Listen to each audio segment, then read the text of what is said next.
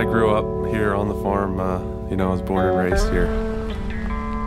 It's been in our family for four generations now. This is all, all that I know.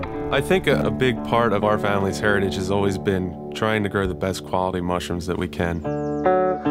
Just the idea of starting with something from nothing, you know, starting with a bale of hay to, to creating, you know, a mushroom. But that's always been my passion, is growing.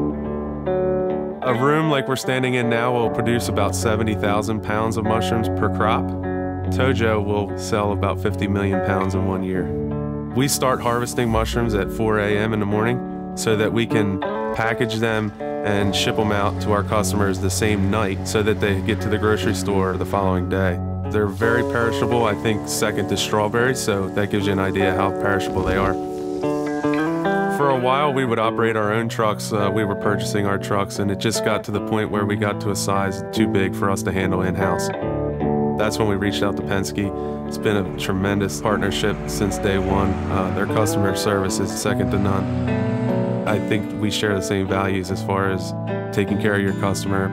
My brother always says, you know, it was nice having our father leave it the way that he left it to us so that we hope to continue that on to our kids and, and their generation so that they can continue on into the fifth generation.